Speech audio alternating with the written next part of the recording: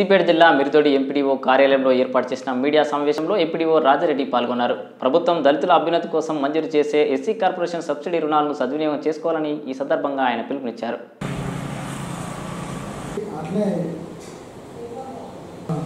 ఇవాళ ఏమన్నా తొంభై ఒకటికే?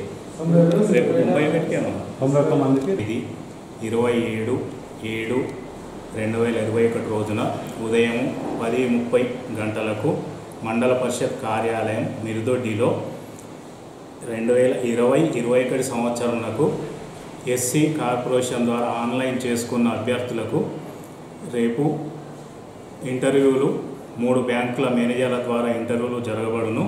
వీటికి సంబంధించిన అభ్యర్థులు వచ్చే ముందు వారికి సంబంధించిన ధృవపత్రాలు తీసుకొని హాజరు కావాల్సిందిగా కోరుచున్నాం.